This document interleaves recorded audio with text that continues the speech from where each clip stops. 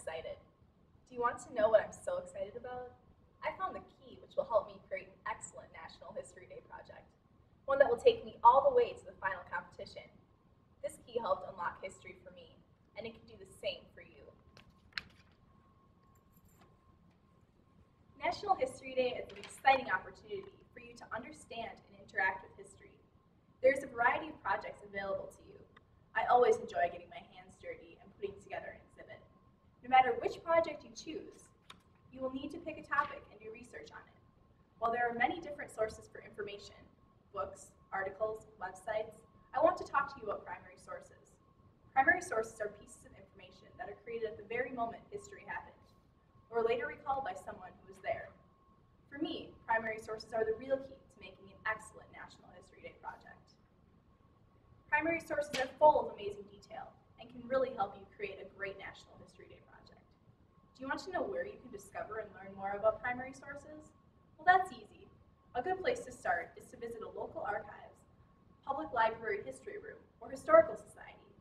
I'm on my way in right now. Come along.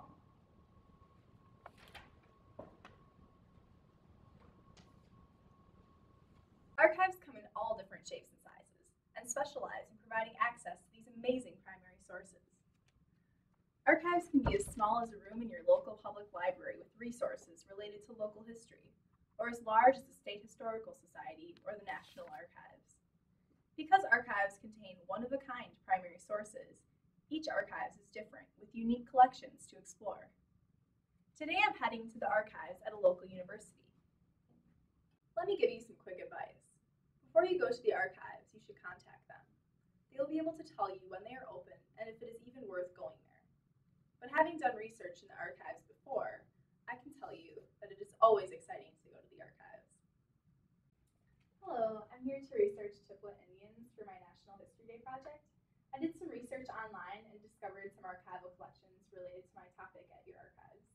Can you help me? Yes, I'd be glad to help you. Have you ever done research here or in another archives? This is my first time here, but I've done research in another archives before. Great, well, I can help you. Before we get started, let's get you ready to begin researching. Each archives has a different set of rules, but there are many common rules. For example, you probably won't be allowed to bring any bags into the research room, and you certainly won't be able to bring any pens, food, or beverages in there with you. You will probably need to register as a security precaution, but that also allows the archives to know you better and help you with your research. Just remember, the materials in the archives are irreplaceable, and there are rules to make sure they last a long, long time.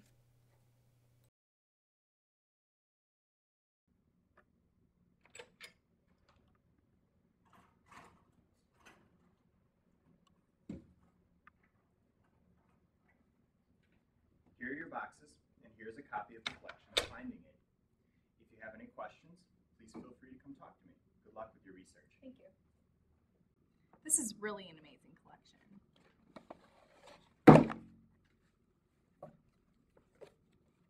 Here's some correspondence from the 1920s. And here is an old diary. And in this folder, we have some old photographs. Over in this box,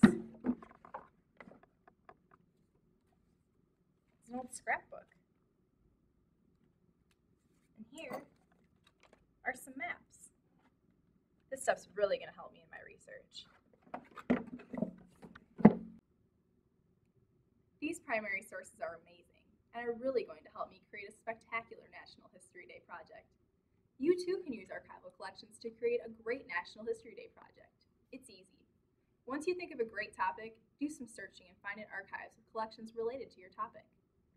You might not even need to go to the archives because some collections are available online, and the archives can work with you through email. Think of it as historical detective work, and start your journey now.